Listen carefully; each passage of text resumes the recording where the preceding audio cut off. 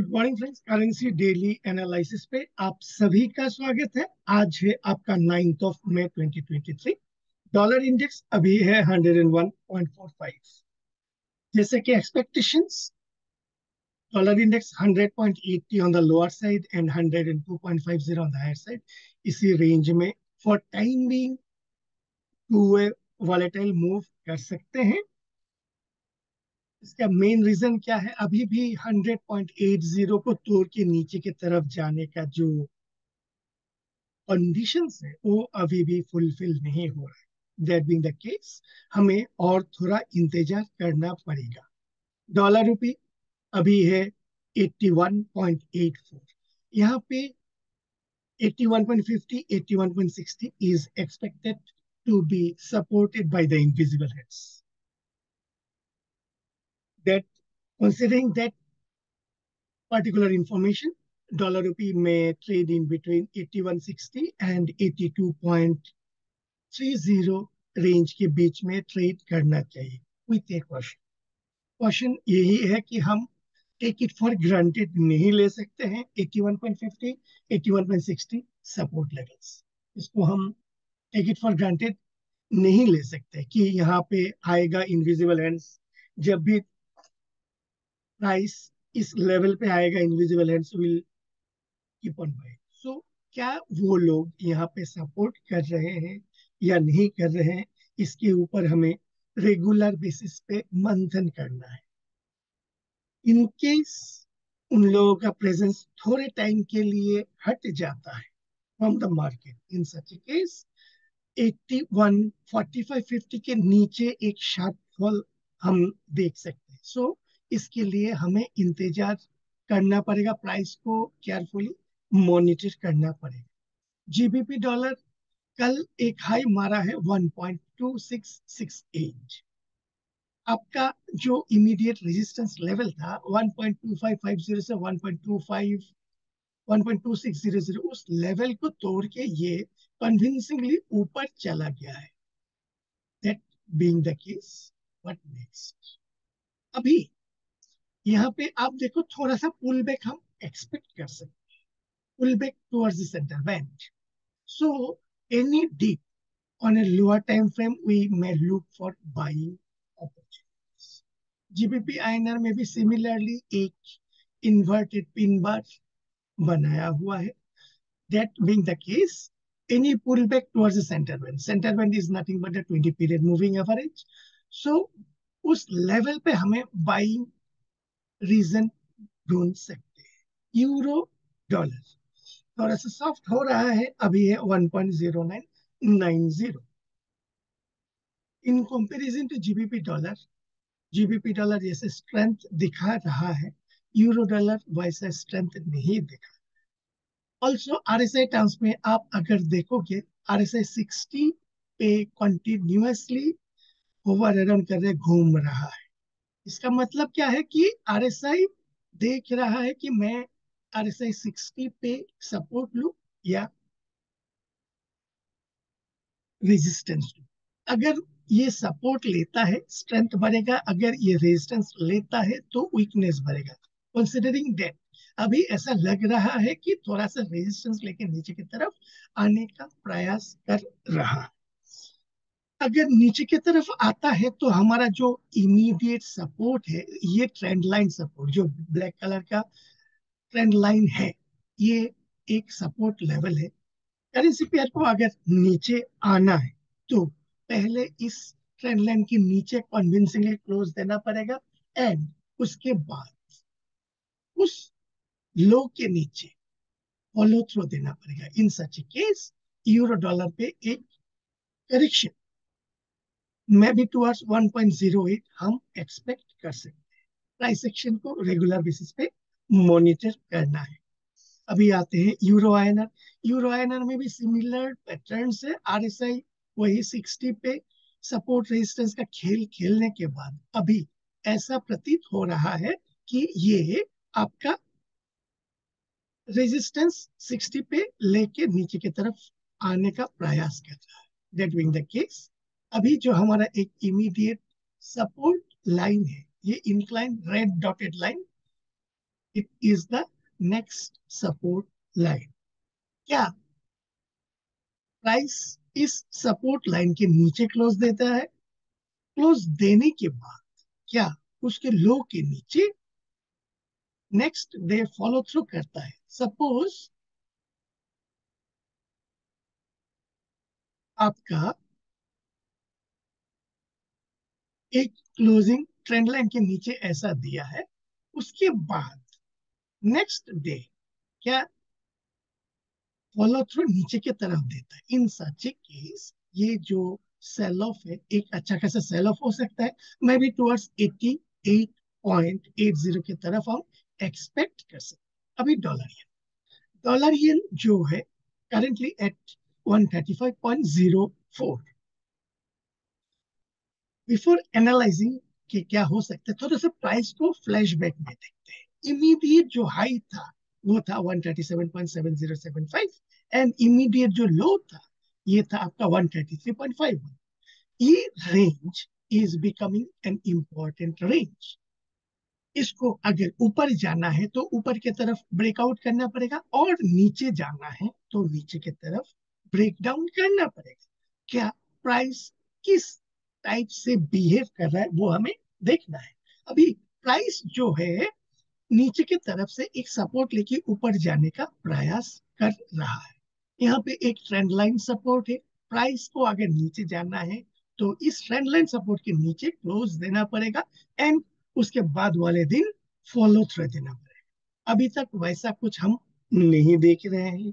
That being the case price थोड़ा consolidate to higher side में जाने का प्रयास कर रहा है। सो एज ऑफ़ नाउ ऐसा लग रहा है कि डॉलर येन जो है अगेन हेडिंग टुवर्ड्स 137 137.50 क्या ये जाएगा उस तरफ़?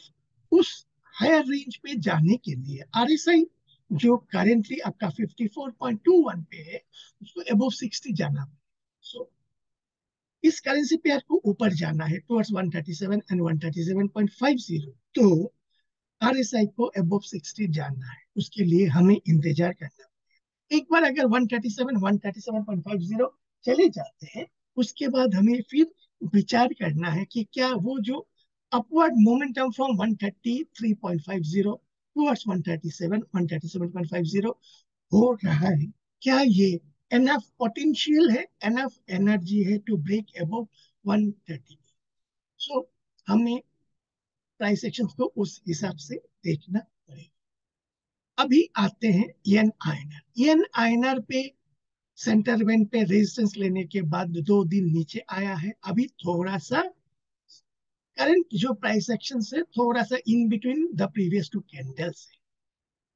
वैसे भी ये जो सेंटर वेन में रेजिस्टेंस लेने के बाद it has become a dual period Bollinger band candidate और दिस करेंसी पेयर जिन लोगों को dual period Bollinger band setup पता नहीं है, वो मेरा यूट्यूब चैनल पे जाके इस स्ट्रेटेजी को चेक कर सकते इसमें क्या है कि सेकंड मींस उसका जो लोअर टाइम फ्रेम है that is on four hourly four hourly पे स्पेसिफिक कुछ दिख नहीं रहा है। तो वन मोर डाउन में हमें प्राइस एक्शन में आने के बाद यहाँ पे देखना है कि लोअर हाई, लोअर ये सेटअप अगर आता है तो सेलिंग के लिए बेस्ट एंड प्राइस में मूव डाउन टूवर्ड्स 59.50 क्या प्राइस एक्शन इस तरह से बिहेव करेगा, हमें देखना है। डॉलर कैंडी अभी है 133.7 कल एक फ़र्स्ट क्लास तीन बार बनाया हुआ है। ये जो कैंडल है, ये कैंडल एक फ़र्स्ट क्लास तीन बार है जो ये बॉटम पे, यानी इस सपोर्ट एरिया पे बना है। डेट बीइंग डॉलर कैंडी जो है इसके हाई के ऊपर। दैट मींस 133.90 के ऊपर एक बाइंग अपॉर्चुनिटीज़ हम एक्सपेक्ट कर सकते हैं व्हिच में take the currency pair towards 1.3500 next Aussie dollar Aussie dollar जैसे कि हमारा प्रीवियस एनालिसिस है it's in range of 0.65 50 and 0.68 इसको अभी प्राइस जो है अपर टेरिटरी में आके रुका है। अभी हमें देखना है कि इसमें इतना पोटेंशियल है कि रेजिस्टेंस को तोड़ के ऊपर जाएगा। अगर ये कन्विंसिंगली ऊपर की तरफ़ जाता है इन सच केस इस काफ़ी आपका इन सच ए केस इसका जो अपवर्ड मूवमेंट होगा equivalent to this box range यानी प्राइस में move towards point seven zero उसके लिए ये जो पॉइंट सिक्स एट के ऊपर कन्विंसिंगली क्लोज देना पड़ेगा एंड हायर साइड पे जाना पड़ेगा। Dollar C N six point nine two five three ये आपका जैसे कि हमारा प्रीवियस एनालिसिस था। प्रीवियस एनालिसिस में क्या था कि ये थर्टीन मार्च का जो मदर कैंडल है, उसके अंदर में काफ़ी टाइम बिताया। उसके बाद ब्रेकआउट करके ये 6.95 के ऊपर गया। फिर डाउन आया। डाउन आके एक पिन बार बनाया। पिन बार बना के ऊपर जाने का प्रयास कर रहा है। There are higher possibilities again ये जो रिसेंट स्विंग हाई है 6.95 उसकी तरफ़ जाने का प्रयास करेगा। सो so, आने वाले दिनों में 6.95 हम एक्सपेक्ट कर सकते any price action below the low of fourth में may again bring the currency pair towards the low. So यहाँ पे दो possibilities है. As of now, the first possibility is CNH may move towards 6.95, 9550 के उसका contract rate क्या है below the low of fourth में it may move down towards 6.83 Brent oil अभी है 7 76.7 ये आप देखिए 7150 के आसपास से बैक टू बैक तीन दिन अप मूव दिया है।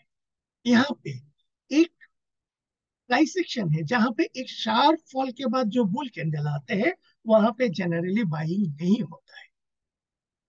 उसके बाद एक डब्ल्यू पैटर्न बनने का, बनने देना है। डब्ल्यू पैटर्न बनने के बाद जैसे ही स्विंग हाई के ऊपर जाएगा तो ये अब मूव की तरफ़ जाए that being the case I am expecting और anticipating a negative candle one negative candle और a couple of negative negative candles something like this उसके बाद एक ग्रीन कैंडल और a couple of green candles will break above the high of the neckline something like this तो ये जो एक neckline होगा, यहाँ पे, इस लाइन के यहाँ पे, इसके हाई के ऊपर जाएगा। In such a case it is going to give the best buying scenario so आने वाले दिनों में क्या इस टाइप का प्राइस एक्शन बनता है?